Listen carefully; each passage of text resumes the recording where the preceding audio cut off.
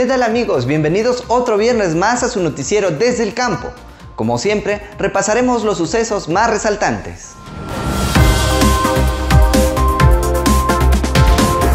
La semana pasada estuvimos presentes en el caserío Cuchurubamba, en el distrito de La Encañada, en donde entregamos 4.000 plantones de pino para su posterior siembra. En las siguientes semanas visitaremos los caseríos Carhuaquero y La Palina, teniendo como objetivo la siembra de 33.000 plantaciones hasta fines de este año.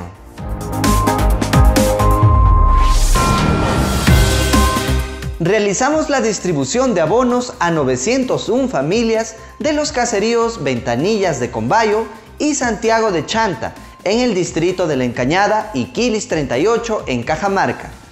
Con este aporte, los productores de la zona podrán dar mantenimiento a 206 hectáreas de pastos, contribuyendo así a la mejora de la disponibilidad de pastos para el ganado.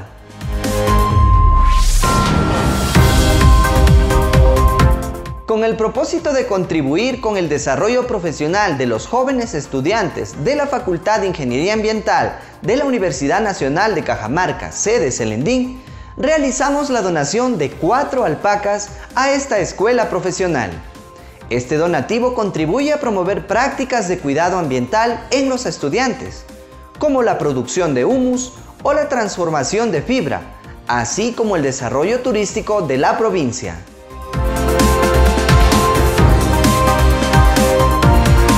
Y así concluye su noticiero desde el campo. Nos encontramos la próxima semana con más información.